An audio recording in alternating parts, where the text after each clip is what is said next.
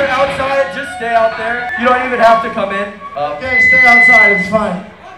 for some reason, you wanted it. Uh, it's X Clock Tower X. It's our last show.